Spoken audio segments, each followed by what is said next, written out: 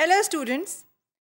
In this topic, we are going to talk about defining human resource management and international human resource management from the course of international human resource management.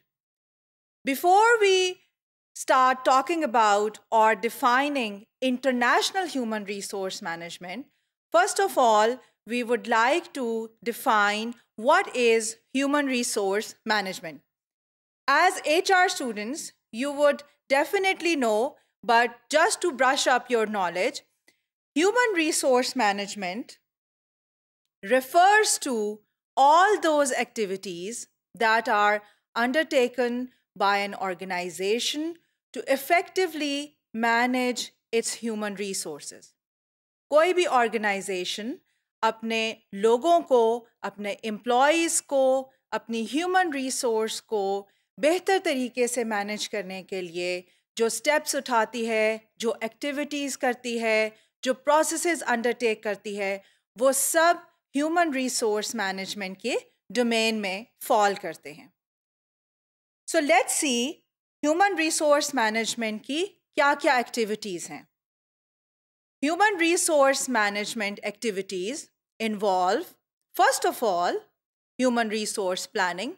Obviously, that has to be the first step. You need to understand how much human resources do you need? What type of people do you need? What type of people are available? What skills, knowledge, and abilities are required by your organization? So, for that, you do human resource planning. Then, the second activity that you undertake in HR is staffing. Staffing involves recruitment and selection. Recruitment and selection involve appointing and selecting those people who are fit to perform the activities and tasks of your organization. The third activity is performance management. Once you have selected your human resource, then you need to make an evaluation about their performance, that they keep on performing and they keep on maintaining a certain level of performance. So that is the third activity, performance management. The fourth activity is training and development, which is an overarching activity. It is not a stepwise process you go into training and development from the start of the career of a person to the end of their career and throughout their life uh, their lifetime in an organization so training and development is the fourth activity in which you do things you undertake those activities that are done to improve the knowledge skills and abilities of your human resources the fifth activity, and the very important one for the employee as well as for the organization, is about the cost and how much you are going to pay your human resources, and that is compensation and benefits. How much you are going to compensate them, in what type of proportion, in what type of uh, whether you are going to give them salaries or benefits or certain other allowances, how you're going to divide and make proportions of that, that is the fifth activity of human resource management. And the sixth activity is industrial relations, in which you undertake all those activities that are for creating a uh, creating an environment which is congenial for your employees and for your organization, creating a culture which is congenial for your employees and for your organization. So these are the six activities, major activities of human resource management. Now, when human resource management goes into the domain of international human resource management, there are basically three approaches to deal with international human resource management. One of that approach is talking about cross cultural management that is related with the behavior of people that are belonging to different cultures of this world.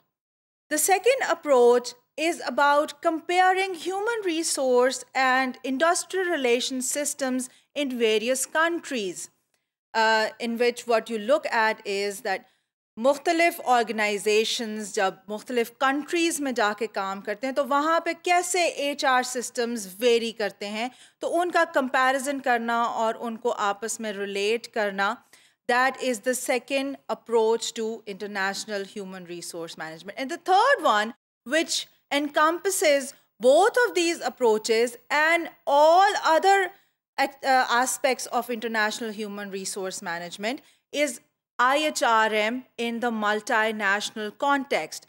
So, multinational context is the most important context for international human resource management because that is most relevant in which uh, you are managing human resources in the multinationals. Obviously, multinationals वो organizations हैं जो मुख्तलिफ countries में operate करते हैं सो उन्हीं के context में आप इंटरनेशनल ह्यूमन रिसोर्स मैनेजमेंट की बात करेंगे so this is the third approach which undertakes international human resource management in the multinational context. In order to bring the international context to human resource management, Morgan has given a 3D model. That 3D model includes three dimensions 3D से आप समझ सकते हैं कि क्या मुराद है। 3D is three dimensional so three dimensional model of human resource management जिसमें एक तरफ़ तो हमने ये देख लिया जब हम ह्यूमन रिसोर्स मैनेजमेंट की बात कर रहे थे कि कितनी एक्टिविटीज़ हैं। सो एक डायमेंशन तो एक्टिविटीज़ की आ गई जिसमें Morgan has defined human resource activities into three categories which are procurement, allocation, and utilization. The second dimension of this model is the type of countries in which, uh, in which multinationals operate. Uh, there are three types of countries. One is host country where subsidiary may be located. The second one is the parent country. And the third one is other countries where there may be source of labor, input, or capital. So, and the third dimension is that where the employees are coming from. So there could be parent company nationals, uh, parent country nationals from where the organization has got its headquarters. The second is host country na uh, nationals, where the organization goes and starts its subsidiaries. And then third country nationals, which are hired from other countries other than the parent country or the host country.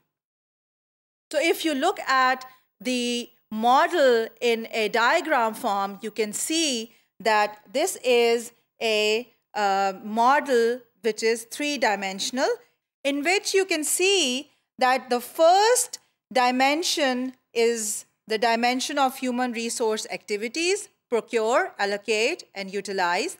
The second dimension is that of the countries in which there is the home country, the host country, and other countries. And the third dimension is that of type of employees with which we are most uh, concerned about, and those are parent country nationals, host country nationals, and third country nationals. Now, when we talk about these parent country nationals, host country nationals, and third country nationals, that creates another concept.